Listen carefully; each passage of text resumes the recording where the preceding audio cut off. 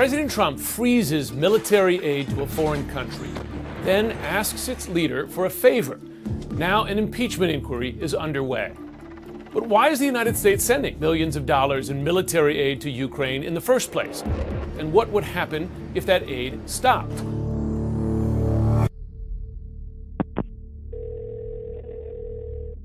To understand this conflict, we have to go back to the early 1990s. This is when Ukraine is part of the Soviet Union and under communist control. The Berlin Wall falls, the Iron Curtain collapses, and the Cold War ends.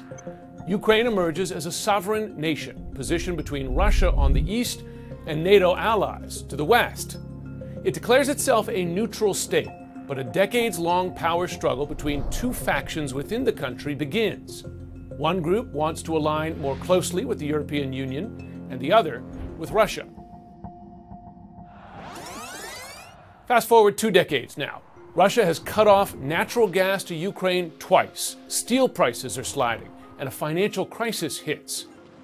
Russia's preferred candidate, Viktor Yanukovych, is elected president. At this point, Ukraine's largest trading partner is Russia, but the country is on the brink of bankruptcy. Under pressure from Moscow, Yanukovych suspends a landmark political and trade deal with the European Union.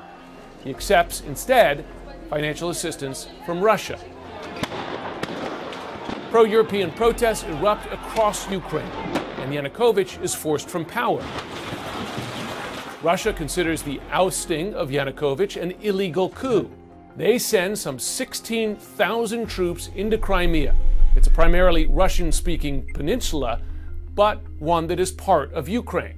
Russia illegally annexes the land along with Crimea's natural gas reserves. It's the most significant land grab in Europe since World War II. To offset Russia's advances, the U.S. sends aid to Ukraine and hits Russian officials and entities with sanctions. Then pro Russian rebels take over government and police buildings in eastern Ukraine. And fighting breaks out there. Ukrainian army responds, but Russia backs the rebels, and the conflict escalates.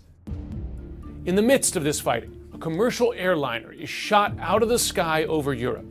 298 people die, including dozens of children. A Dutch led investigation later determines that, despite persistent claims to the contrary, it was a Russian missile fired from Russian controlled territory that shot it down. The U.S., under President Obama, considers sending weapons to Ukraine. The 21st century Uh, cannot have us stand idle and, and simply allow the borders of Europe to be redrawn at the barrel of a gun. European leaders fear that could further ignite the conflict. On certain issues, we may not agree. Germany and France draft a ceasefire agreement between the two parties, but that quickly falls apart. President Trump is elected in 2016, and he approves the sale of lethal weapons to Ukraine. We urge Russia to cease its destabilizing activities in Ukraine and elsewhere. By 2018, some 13,000 people have been killed in the war. The U.S. Congress approves another round of military aid, but Trump decides there may be conditions on any U.S. support. He wants to speak with Ukraine's newly elected president first and asks for a favor. Trump wants help investigating two things that could help him politically.